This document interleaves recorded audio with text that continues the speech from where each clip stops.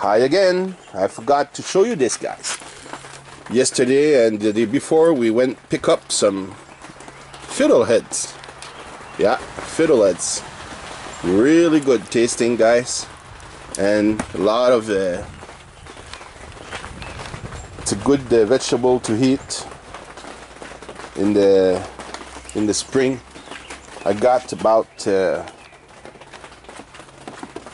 I picked up about uh, let's say 25 around 40 pounds. And my dad got himself about uh, 30 pounds. So we're gonna have a lot of uh, fiddleheads to eat this summer and this winter. So thanks again for watching